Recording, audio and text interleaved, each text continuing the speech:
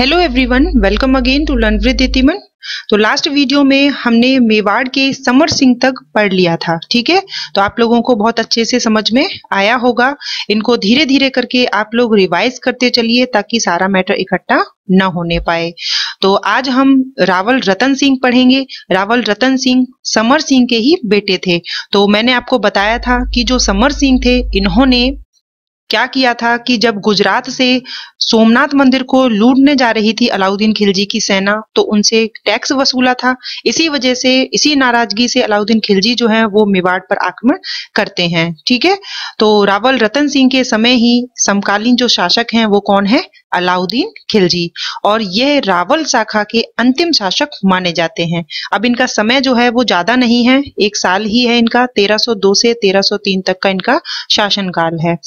इनका विवाह जो है वह श्रीलंका के राजा गंधर्व सेन की पुत्री पद्मनी से हुआ था। और ये जो पद्मनी थी, ये बहुत अधिक सुंदर थी। रानी पद्मनी के पास जो है एक हीरा मन तोता था, जो कि मनुष्य की भांति बोलता था। तो देखिए, एक बार क्या होता है कि ये जो हीरामन तोता है, ये चित्तौड़ पहुँच जाता है उड़कर और रानी पद्मनी की सुंदरता का वर्णन जो है वो रतन सिंह के सामने कर देता है। तो जो रावल रतन सिंह है अब वो रानी पद्मनी से विवाह करना चाहते थे, क्योंकि रानी पद्मनी जो है वो इतनी अधिक सुंदर थी, जिसकी व्याख्या हीरामन तोता उनसे पहले कर चुका था। तो वहीं राजा गंधर्व सेन जो है, वो स्वयंवर कराने का निर्णय लेते हैं और वहाँ पर बहुत सारे हिंदू राजाओं को बुलाते हैं। तो राजा जो रतन सिंह है, वो भी जाते हैं। वैसे इनकी बारह तेरह जो है, वो रानियाँ पहले से ही थी।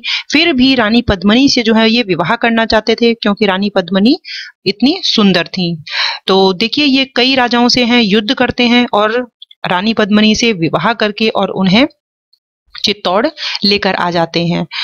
तो वहीं पर चित्तौड़ में रतन सिंह के यहाँ पर एक पंडित था राघव। ये जादू टोना करता था और जब इसकी बुरी नज़र रानी पद्मनी पर पड़ती है तो रतन सिंह को ये अच्छा नहीं लगता है और राघव को वो चित्तौड़ से निकाल देते हैं।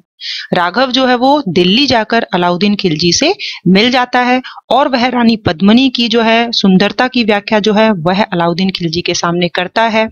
और हालाँकि अलाउद्दीन खिलजी जो है वो मेवाड़ पर तो आक्रमण पहले से ही करना चाहता था, क्योंकि जो रतन सिंह के पिता थे समर सिंह तो उन्होंने जो है वो टैक्स वसूला था इनकी सेना से। इस वजह से वह मेवाड़ को तो पहले ही हासिल करना चाहता था।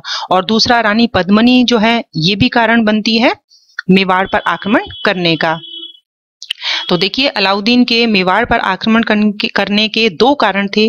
अत्यधिक महत्वाकांक्षी और साम्राज्यवादी, यानी बहुत सारे साम्राज्यों को वो मिलाकर अपना साम्राज्यवाद बढ़ाना चाहता था। रानी पद्मनी को प्राप्त करने की लालसा भी उसको मेवाड़ पर आक्रमण करने के लिए आगे करती है। और इसकी जानकारी हमें शेरशाह सूरी के दरबारी कवि मलिक मोहम्मद जायसी द्वारा लिखित पद्मावत में मिलती है, जो कि उन्होंने लिखा 1540 ईस्वी में। ठीक है?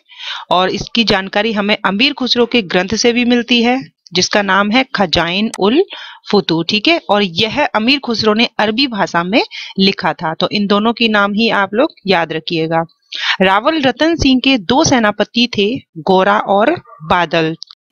तो अब देखिए, अलाउद्दीन खिलजी जो है, वो आक्रमण करेगा। तो अलाउद्दीन खिलजी ने सबसे पहले चित्तौड़ का क्या घेरा डाला?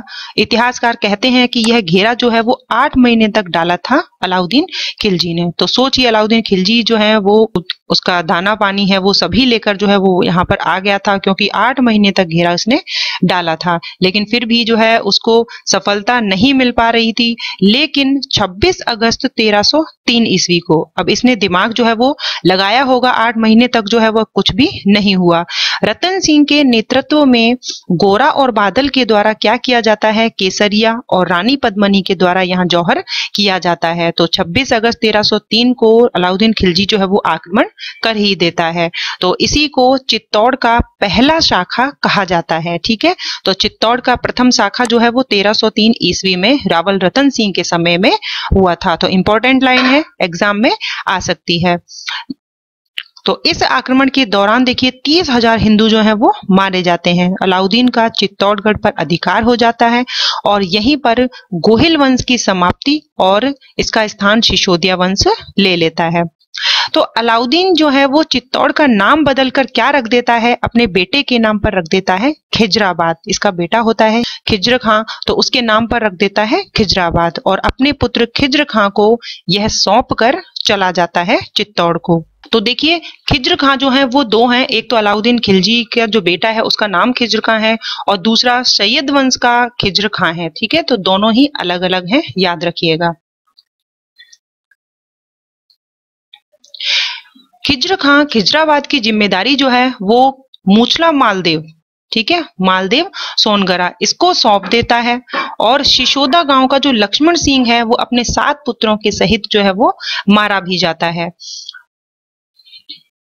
अब देखिए कि पद्मिनी के कारण जो है वो आक्रमण हुआ। ऐसा पद्मावत तो बताता ही है। इसके अलावा Nainsi Rikhyat, colonel James Tod, Aaine Akbari और तारीके फरिश्ता यहाँ पर भी मिलता है कि पद्मनी के कारण ही आक्रमण हुआ था, ठीक है? वो ये चीज़ नहीं लिखते हैं कि समर सिंह के कारण आक्रमण हुआ था, वो सभी ये लिखते हैं कि रानी पद्मनी के कारण ही मेवाड़ पर आक्रमण करता है अलाउद्दीन खिलजी। खजाइन उल फतू में पद्मनी की तुलना जो है, वो सेबा की महारानी से की गई है, ऐसा कहते हैं अमीर खुसरो। तो ये भी आप याद रखिएगा। इसके बाद के शासक जो हैं, वो अपने नाम के आगे जो है राणा लगाने लगते हैं।